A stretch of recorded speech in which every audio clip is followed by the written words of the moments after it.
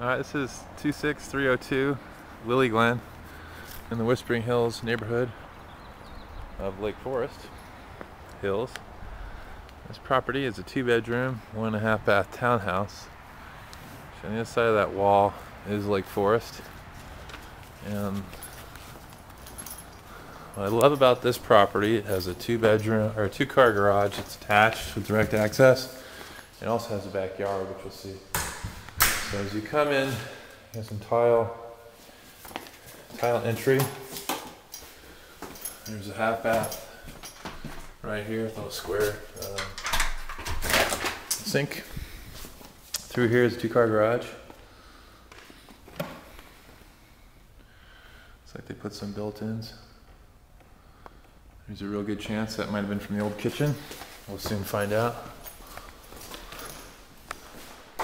One thing they've done, you see this a lot in some of the houses, is that where fireplaces used to have a, like a hearth that comes out, maybe like a foot, they've grinded it down and made it tile, just to give you a little more living square footage, and you know, stub your toe.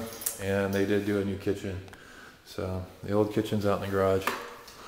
Uh, and you'll actually find that there's more cabinet space in this townhouse and you'll find in a lot of single family residences, mine included.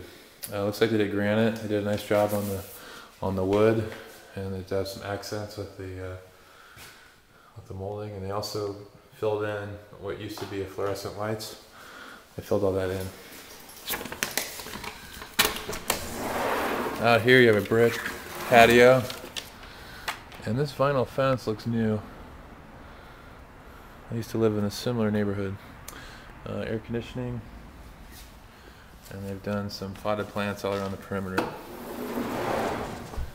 That's a new new door. Also have plantation shutters. Looks like the rest of the windows may be done. Also, that's kind of a neat feature up there, the plantation shutters.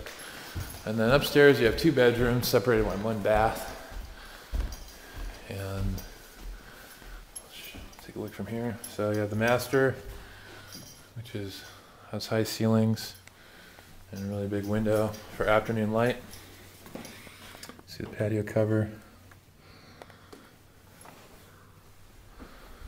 And then the master, dual uh, mirror glass doors.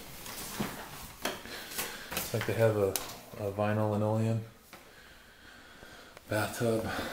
These properties are all built with really wide tubs, which I'm a fan of. I'm not gonna lie. And this has a door that you can seal off, and this can just be a common bathroom, where second bedroom would be right here.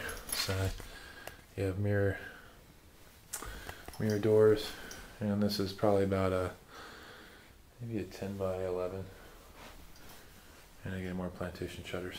So that's 26302 Lily Glen. If you'd like to have an in-person tour, please call Greg Wakeham at 949 922 1651.